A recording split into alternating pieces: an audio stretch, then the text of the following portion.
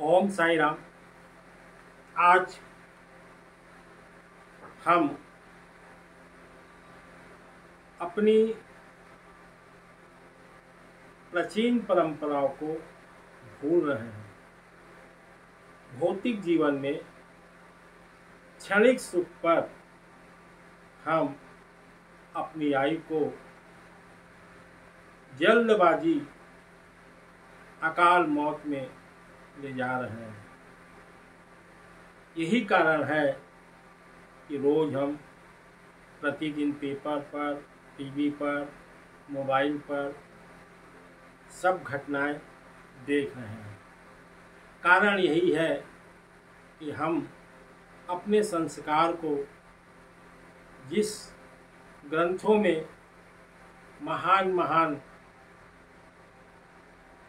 लोग हुए उनको हम दर किनारा करके अपने आप को एक नया मंजिल बनाने में लगे हुए हैं और कारण यह हुआ कि हम उस मंजिल को प्राप्त नहीं कर रहे हैं और अपनी जीवन लीला को समाप्त कर रहे हैं।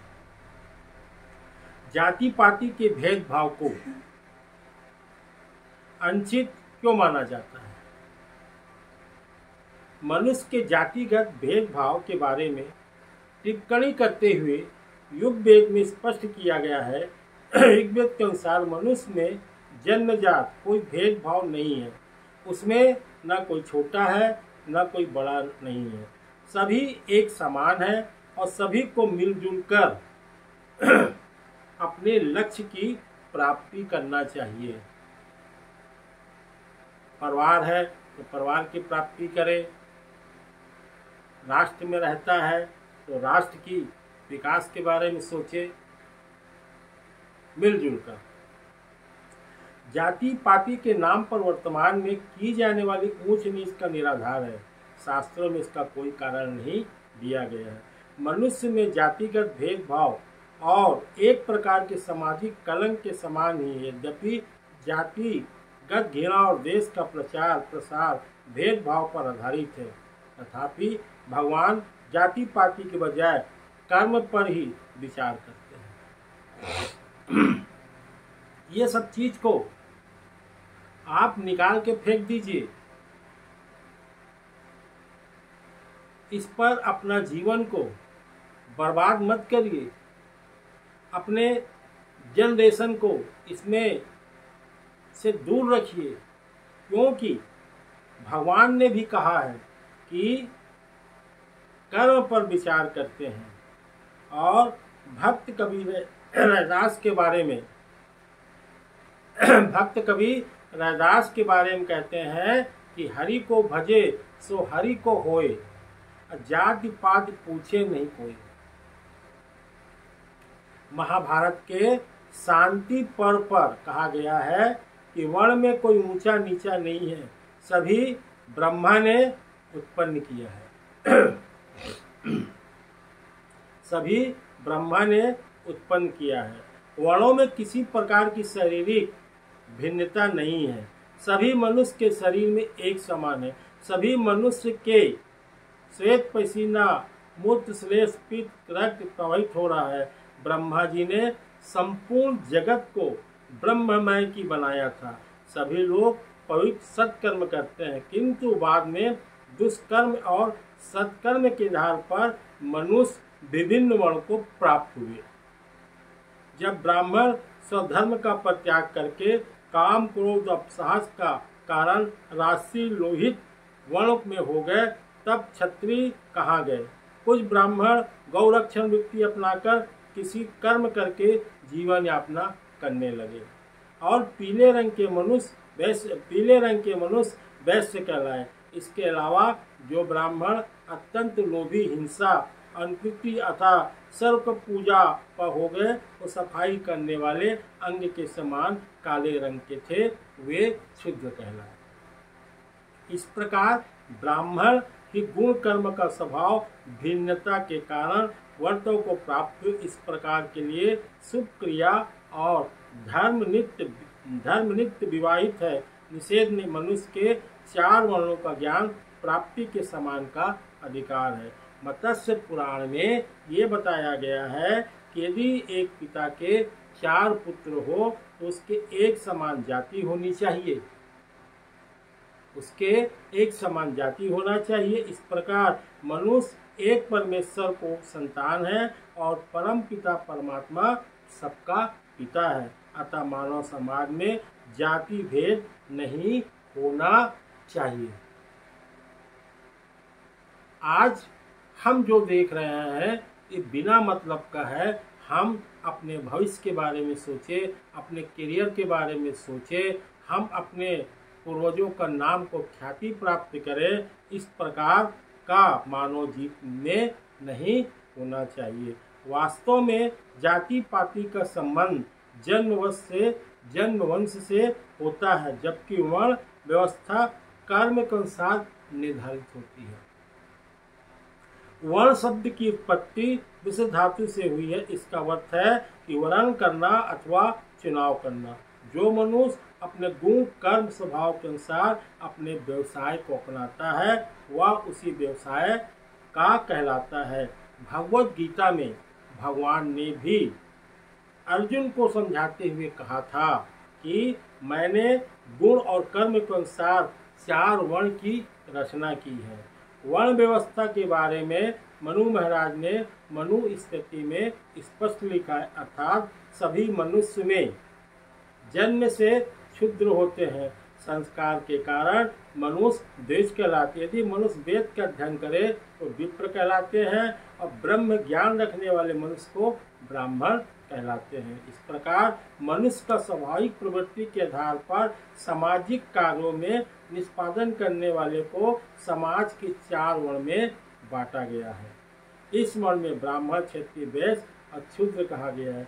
वास्तव में चारों ओर के लोग एक ही परमात्मा की परमात्मा की संतान है। उसमें न कोई छोटा है, न कोई बड़ा है, बल्कि सब एक समान है। इसलिए हम अपने कर्मों पर विश्वास करें और विश्वास करने के बाद हमको अपने जीवन में, अपने कुल में, अपने माता पिता का नाम को विख्यात करें। अगर आप ऐसा करते हैं तो आप अपने जीवन पर एक बहुत बड़ा ज्ञान को प्राप्त कर सकते हैं और यही ज्ञान को प्राप्त करने के लिए प्राणी संसार में रहते हुए जिस प्रकार कर्म करता है, आप कोई भी ऐसा काम, ऐसा कर्म मत करो। चाहे घर में हो, चाहे राष्ट्र में हो, चाहे प्रदेश में हो चाहे दोस्त यारों के बीच में हो, चाहे ऑफ़िस में हो, चाहे किसी कार में हो, चाहे किसी नौकरी में हो, आप इसी प्रकार का कर्म करता है, उसे इसी जन्म अथवा जन्मांतर में अवश्य कर्मों के अनुसार उस व्यक्ति को फल भोगना पड़ता है। और यही कर्म फल कहलाता है। गोस्वामी तुलसीदास ने रामचरित मानस के अयोध्या कांड में देवगुरु बृहस्पति के द्वारा देवराज को भगवान की कर्म मर्यादा का सार समझाते हुए इस प्रकार व्याख्या किया। क्या व्याख्या किए हैं? कर्म प्रधान विश्व करी राखा, जो जस करे, सो तस्पस शाखा कहू न कोई सुख दुख कर दाता, निज कृत कर्म भोग से भराता अर्थात संसार में कर्म प्रधान है। आप नेतागिरी में हुस्कार दीजिए, लोग आपको फंसा देंगे। आपके घर में स्थिति नहीं है सरते रहिए आपका करियर खत्म। ऐसा क्यों करते हो? कर्म करिए आप, दो पैसा कमाइए। कर्म प्रधान विश्व का इलाका जो प्राणी जैसा कर्म करता है, आप जैसा कर्म करोगे, उसका फल वैसा आपको मिलेगा। संसार में कोई भी प्राणी किसी को सुख देने में समर्थ नहीं है। ये मान लीजिए संसार में कोई भी प्राणी किसी को सुख देने में समर्थ नहीं है, ये मैं नहीं कह रहा हूँ, एक गोस्वामी तुलसीदास ने रामचरित मानस पर उल्लेख किया है। प्राणी अपने किए हुए कर्मों का फल भोगते हैं, और जन्म निरंतर किए हुए कर्मों का फल निश्चय ही प्रकट होता है। इनको इस प्रकार कहा गया है, अर्थात पूर्वजन्म पूर्वजन्म और वर्तमान जन्म में किए हुए सभी कर्म फल हैं। पूर्व जन्म और इस जन्म का कर्म जो के बने हुए हैं, यह सभी कर्म फल है। अवश्य अतः मनुष्य के द्वारा किया हुआ यत्न बलिभूत बिना नहीं रहता है।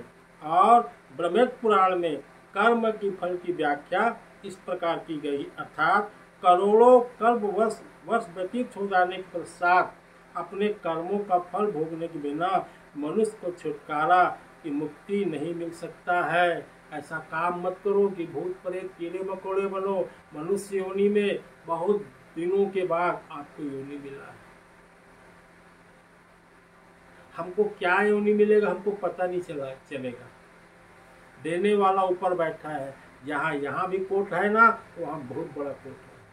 यहाँ का कोर्ट आपकी सुनवाई करता है, वहाँ का कोर्ट सीधा आदेश करता है।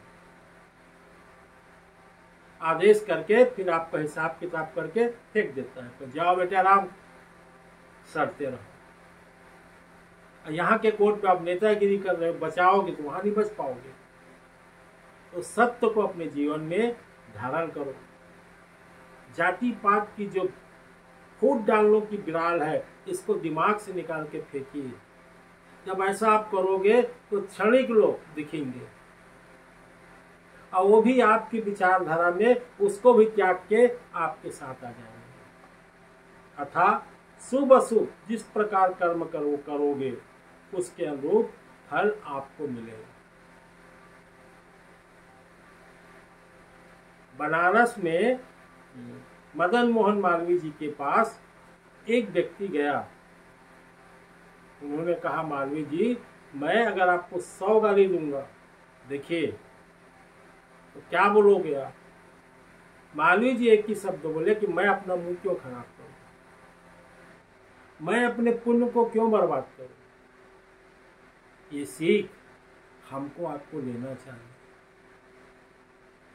गजेंद्र मोक्ष की देख लीजिए कथा, वो हाथी को कोई साथ नहीं दिया। अगर पूर्व जन्म में कुछ अच्छा किया था, उसका लेखा जोक हुआ, इसमें मिले हुए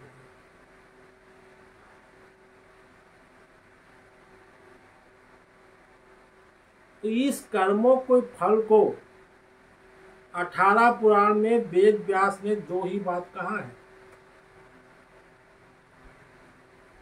ये परोपकार पुण्य है और दूसरों को पीड़ा पहुंचाना पाप है। किसी को क्षति करोगे या किसी की जीवन यौका में लात मारोगे तो क्या होगा? कष्ट मिलेगा वास्तव में यही पाप और पुण्य का सही व्याख्या है। श्रवण कुमार का भी चरित्र देख लीजिए आप। उसके अनुसार ही राजा दशरथ ने फल पाया। जिस प्रकार समण कुमार के माता पिता पुत्र वियोग में मरे, उसी प्रकार राजा दशरथ जी भी अपने शरीर को पुत्र वियोग में त्यागे।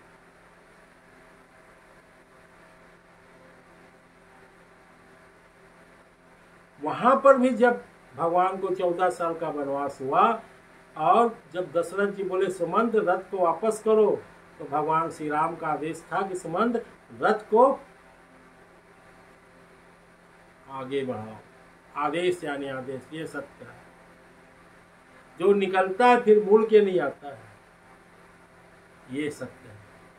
और पाप कर्म से शरीर नहीं, पाप कर्म से शरीर नहीं अंत मन तक आहत होता है इस बारे में मार्कंडे पुराण में कहा गया है कि पैर में कांटा लग जाने पर केवल एक ही जगह पीड़ा का एहसास होता है। किंतु पाप कर्मों का फल शरीर और मन दोनों में निरंतर सूल में चुपते रहते हैं। रात दिन आपको सोने नहीं देगा। यदि जाने, अनजाने में मनुष्य कोई पाप कर गया हो उसके सच्चे मन में पश्चाताप करने से उसका पाप नष्ट हो जाता है। इस प्रकार शिव पुराण में कहा गया है कि पश्चाताप ही पापी की परम निष्कृति है। प्रसाद स्थिति के अनुसार जो मनुष्य पाप कर्म हो जाने पर सच्चे हृदय से पश्चाताप करता है, उसे पाप से मृत्यु हो जाती है। वो छोड़ दे। अरे यार बहुत गलत चीज़ मैं किसी को मार दिया, किसी घर में आग लगा दिया, किसी रास्ते में एक मेन रोड है तो मेन रोड के रास्ते मैंने तार बाँध दिया, आया कोई व्यक्ति रात के आया, ये हो गया, कहीं मैं बम फेंक दिया।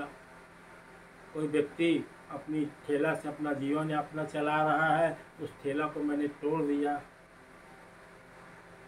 बिना मतलब की बात एक दूसरे को बोलकर मैंने दंगा करा दिया। इससे नहीं बचोगे आप। कर्म विधान का लिस्ट है। तो शिव पुराण में ये बताया गया है, अनुसार मनुष्य पाप कर्म के जाने पर सच्चे हृदय से पश्चाताप करता है और वह पाप से विमुक्त हो जाता है। पाप छिपाने में बहुत बढ़ता है। तक मनुष्य सात जन्मों तक कोढ़ी दुखी नपुस्तक तथा होता है। पाप छोटा हो अथवा बड़ा हो, उसे किसी धर्मयाग के सम्मुख अवश्य प्रकट कर देना चाहिए। इस प्रकार पाप को प्रगटीकरण कर देने से वह ठीक उसी प्रकार नष्ट हो जाते हैं। जिस प्रकार दवाई लेने पर रोग नष्ट हो जाते हैं। पाप पुण्य कर्मों के संबंध में एक लोक की कथा है कि मनुष्य मनुष्य प्रगत अनेक आत्माएँ स्वर्ग पर जा उपस्थित हुई। बहुत सी आत्माएँ स्वर्ग में जाके इकट्ठी होगी धर्मराज ने सभी की परीक्षा लेने के लिए दो कागज़ दिए। धर्मराज ने सभी की परीक्षा के लिए दो कागज़ दिए और उन पर अपने अपने पाप पुण्य लिखने को कहा। उन आत्माओं को। कुछ आत्माएँ अपने पुण्य को बढ़ा चढ़ा कर लिखे। यहाँ तो बच जाओगे आप। बढ़ा चढ़ा कर लिखे किंतु पापों को छिपा लिया। इसके विपरीत कुछ आत्माएँ अपने पूर्ण कर्मों का विस्तार विस्तार देकर पाप को उजागर किया। उनकी निकृति का उपाय करना देना चाहिए। उन सभी आत्माओं के दोनों कागज़ यमराज के सम्मुख पहुँचे। उन्होंने अपने परम कर्म प्रकट करने में निष्ठिता को उपाय जानने वाले को स्वर्ग रास्ता दिखाया। और शेष को, नरक को भेजा। इस प्रकार स्पष्ट है कि अहंकार से बसीभूत होकर अपने क्षुद्र पुण्य कर्मों को सर्वपरि मानना, उनके द्वारा स्वर्ग की कामना करना व्यर्थ है, बल्कि किए हुए, चुके, किए हुए, चुके पापों को सच्चे हृदय के पश्चात करना सदगति है, बढ़ना है। इसी मार्ग में चलकर हम पुण्य कर्म के अमृत बेला को प्राप्त कर लेते हैं। प्राप्त कर लेते हैं। यानी एक डाकू था। उसका काम था चोरी करना, डकैती करना, रात के किसी घर में आग लगा देना बैले गाड़ी को तोड़ फाड़ फेंकना, महिलाओं अगर निकल रही हैं तो उनका सोना चांदी का हरण करना, ये उसका कृत्य था। परवान भी था। करते करते एक दिन, रात के सोया। क्योंकि ब्रह्म मुहूर्त जो होता है उस समय भगवान आकाश मार्ग में भ्रमण करते हैं,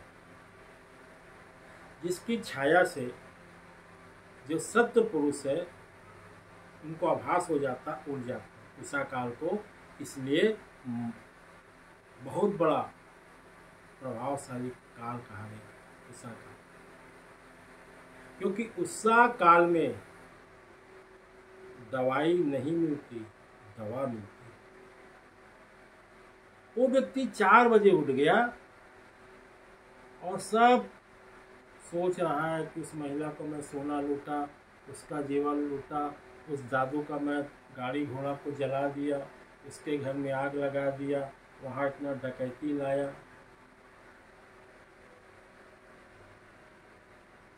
और ये सब करते करते मैं ये जो कर्म कर रहा हूँ अच्छा नहीं है। और सबको त्याग करके एक नदी किनारे गाँव में एक आश्रम था। वहाँ एक महात्मा जी धोनी में बैठे तपस्या कर रहे थे। वहाँ पहुँचा, महात्मा उस डाकू को देखकर भागा वहाँ से। बोले गुरु जी आज मैं पूर्ण रूप से शरणागत आपके चरण में हूँ। आप मत डरिए। गुरु जी को हिम्मत आई बैठे, तब वो डाकू ने कहा, महाराज, बहुत अनर्थ किया, बहुत पाप किया। प्रातःकाल कि कोई चैतन्य शक्ति मुझे उठाई तो कोई यहाँ पूर्व जन्म को जुड़ा हुआ है। और इस सबसे मैं कैसे मुक्त होना चाहता हूँ? कोई मुझे उपाय बताइए। तो जो ज्ञानी होगा, जो आपकी उम्र में ज़्यादा होगा, वो आपको ज्ञान देगा। बराबरी वाला तो आपको लड़वा रहा है, मज़ा ले रहा है, आप फंस रहे हैं, क्या मिल रहा है आपको? कुछ मिल रहा है? कुछ नहीं। मैं कौन हूँ? क्यों जन्म लिया हूँ? मेरा जन्म लेने क्या प्रयोजन है? क्या मैं लड़ाई झगड़ा के लिए जन्म लिया हूँ? मारकाट के लिए जन्म लिया हूँ? इस प्रकार की प्रवृत्ति जिसमें थी, उसको आत्मचिंतन हुआ। महाराज जी ने अपने आश्रम पे झंडा दिया। बेटा, ये लाल झंडा है, इसको ले जाओ, पूरे तीर्थ में भ्रमण करो। और जिस तीर्थ में तुम स्नान करोगे, वहाँ इस ध्वज को स्नान कराओगे। और जिस तीर्थ में यह ध्वज जगत लाल से सफ़ेद हो गया तो तुम सारे कर्मों से मुक्त हो। ये मेरे गुरु का आशीर्वाद। लिया कंधे में रखा। संपूर्ण पीरत गया वो डाकू। मगर कहीं भी वह झंडा लाल से सफ़ेद नहीं हुआ। अब गुरु का ध्यान लगा हुआ था।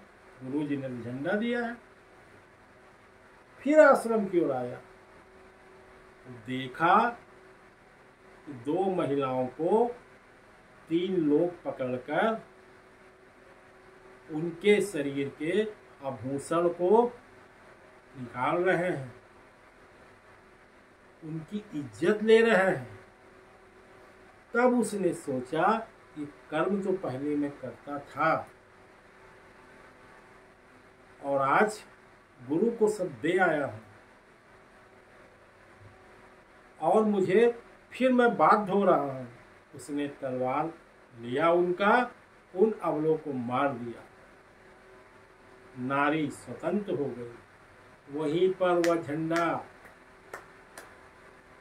सफ़ेद हो गया। यह है कर्मों का फल और वह आगे चल के ग्रस्त आश्रम का सत्यवादी व्यक्ति बना, जो अपने गाँव में सत्य का, धर्म का बहुत बड़ा प्रचार प्रसार का केंद्र बना। आपको यह वीडियो अच्छा लगता है आप शेयर करिए लाइक करिए, ताकि आपके जीवन में इस लाइव वीडियो देखने से परिवर्तन आए, लक्ष्य की ओर बढ़ें, बकवास की ओर मत बढ़ें, तभी आपका जीवन सफल होगा। ओम साई राम जय साई